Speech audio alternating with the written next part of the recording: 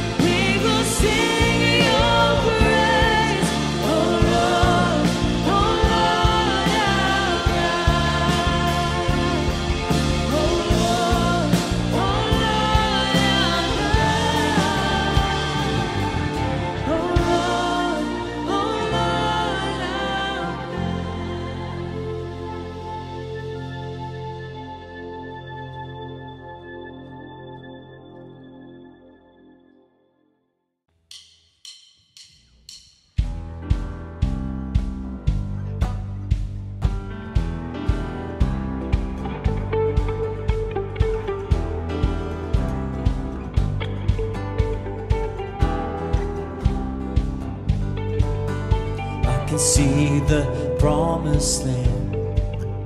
Though there's pain within the plan, there is victory in the end. Your love is my battle cry when my fears like Jericho build their walls around my soul. When my heart is overthrown, your love is my battle cry, the anthem for all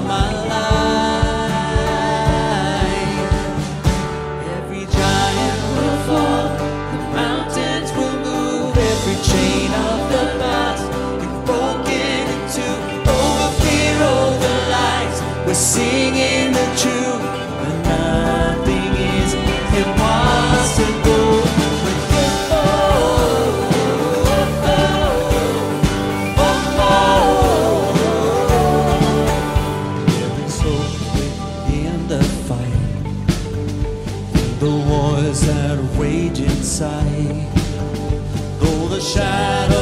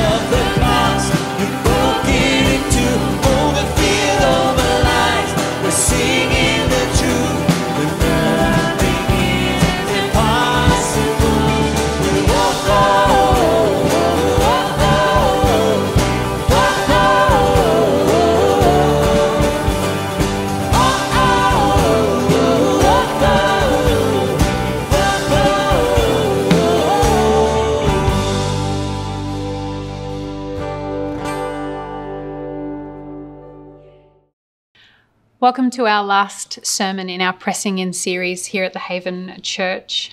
Um, I want to start today by being totally honest and saying that usually I love preparing for sermons because I'm a type A personality nerd. Monica Geller, I like things organized, I want them in binders, and I really enjoy the journey of researching historical context and looking at ancient liturgy and pushing it all together and and finding out how it presents in the topic that I've been given. But this uh, topic has not rolled that way. Today's topic is looking at how we press in past adversity. And adversity is one of those topics that I think in Christianity, we've often thrown a lot of cliches at. And sometimes we try to squash our struggles or the struggles of other people by quoting scripture to them or giving them a new point of view with their belief system or any of that kind of thing. And I've been really, really worried about standing here today and possibly fitting into that category. I, I just don't want to do that. And I don't believe that that's what God calls us to do either. So, all I've done is just sit and pray and pray and read my Bible and just really begged God for some direction with what is His word? What is His direction when it comes to adversity? And in this journey of looking through the Bible and reading some books, I kept coming across this notion of the word altar. And so I just thought I'd start exploring that. And looking at altars, I think it's really easy to perceive the altars of, of, of time past in temples where we've got these beautiful bronzen monuments, and that's where these um, priests came and they're in, you know, royal gala and they're moving through, and it's a whole ritualistic, beautiful process. But altars actually started really messy and grubby and they were hard. Altars were fashioned out of broken chunks of rock and earth and they were assembled by pressing them together with mud and grit and clay. It wasn't pretty, it wasn't tidy. It was the sort of work that left your knuckles raw and you out of breath. And there's a, so many reasons why people built altars. There were altars built to honor uh, commemoration with God and covenants and praise and thanksgiving. And of course, we know that there's altars that are there for forgiveness and repentance and sacrifice or pleading or a whole manner of other words. But the one thing that all of these reasons for coming to an altar and building it have in common is that an altar is a place where we experience true connection with God. So God had this, this altar notion running around my head, and to be honest, I haven't known what to do with it. So I sort of just shelved it for a bit and, and waited for the next instruction. And I was really lucky to discover a, a version of the Bible recently that I really love, and I begged my husband to buy it for me for Mother's Day, and he did. And I've just been pouring through God's scripture and loving the revelation um, of who Jesus is that's coming out to me. And, you know, I think there are so many verses in the Bible and so many stories that we could fill a whole series on how to press into God past adversity. But today, I just want to give you two.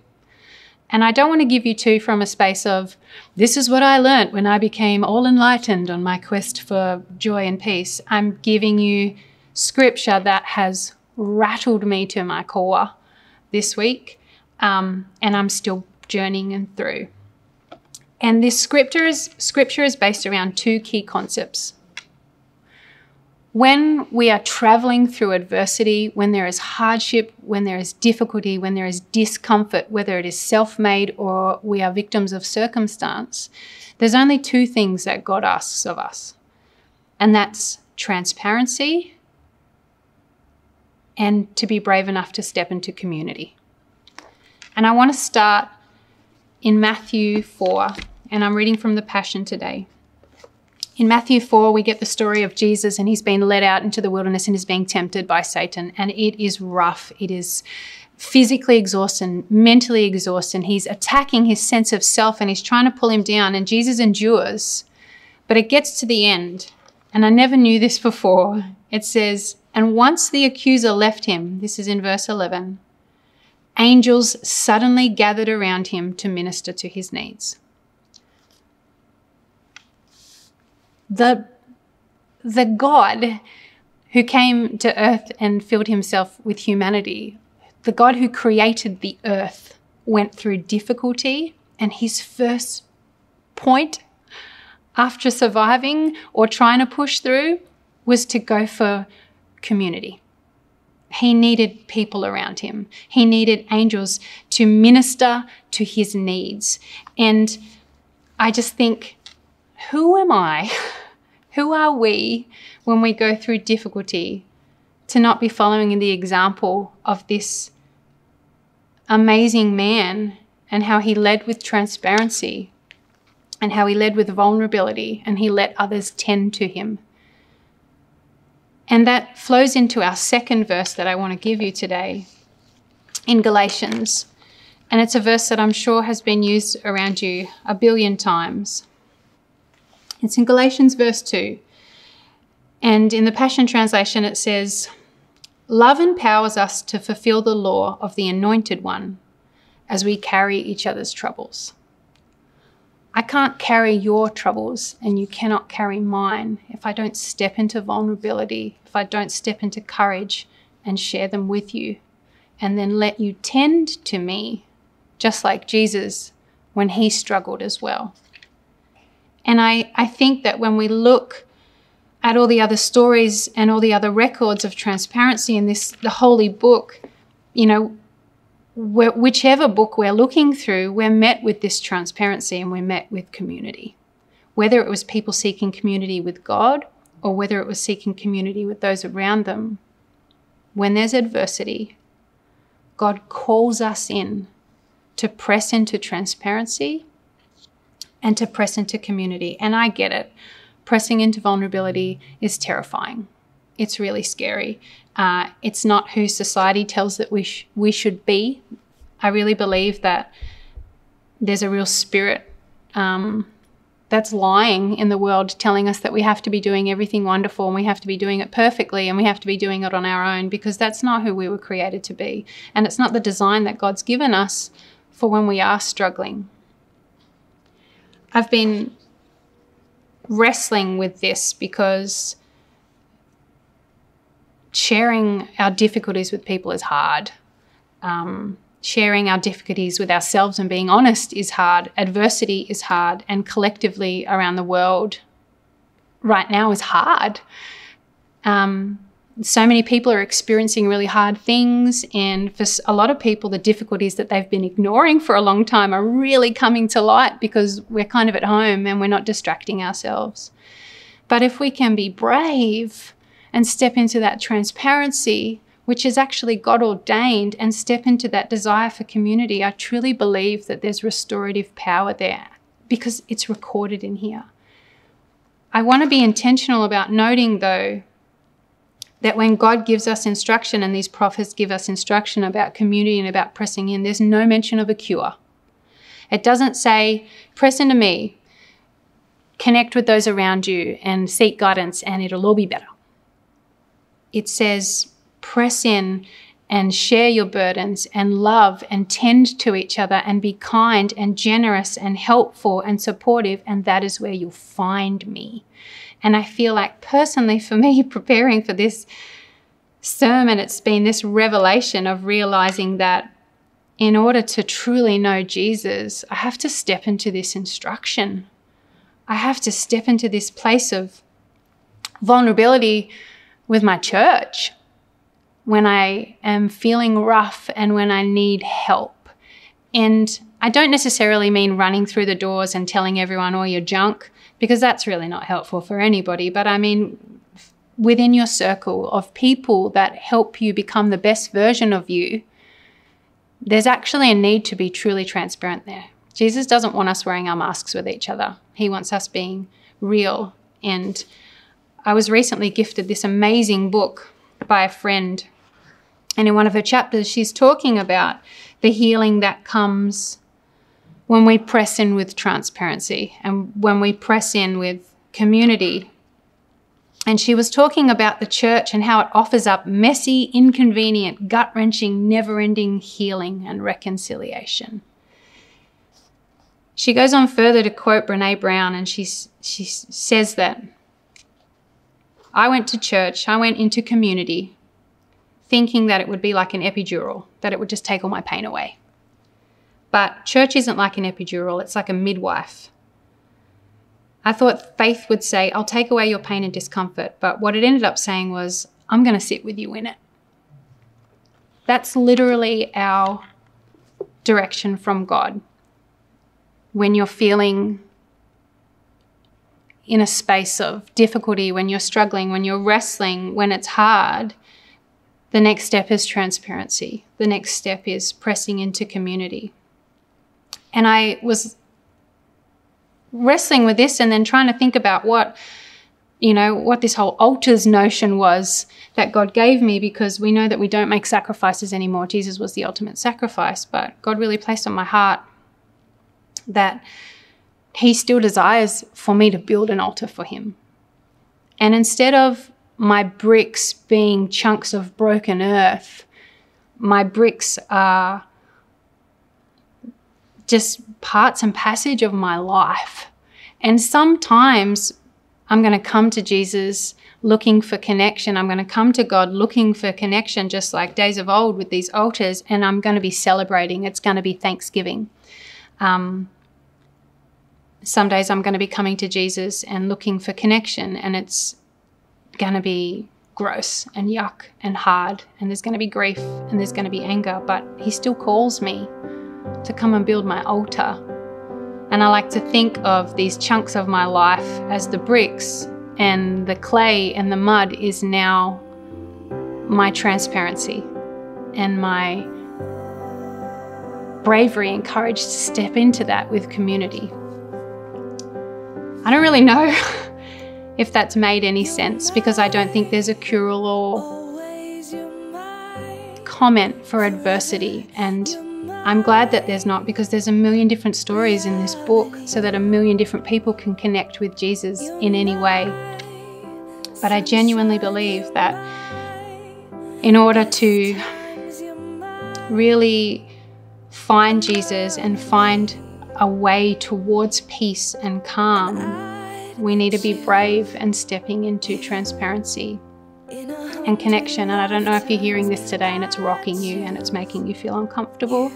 And I don't know if it's making you feel like you're getting a warm hug, but at either ends of that, of, of those feelings, there's God and there's Jesus. And I encourage you to build your altar. I encourage you to get your friends and your family and your loved ones and continue to build your altar. And it's messy and it's yuck, but there's connection with God there and there's healing. And yeah, that's kind of all I could muster up on adversity today. I'm wanting to be tender because I know the world is in a hard space, but I'm really grateful for the way that the Lord has led with his own story in the Bible of being transparent and letting other people tend to him and tending to them. Let's pray. Heavenly Father, thank you so much for who you are. Thank you that you love us when our world is in shambles, and thank you that you love us exactly the same when our world is on top of the mountain. You're a powerful God and you're a loving God. And I thank you that no matter where we are in life, you are right here with us, pushing through. We love you, God. Amen.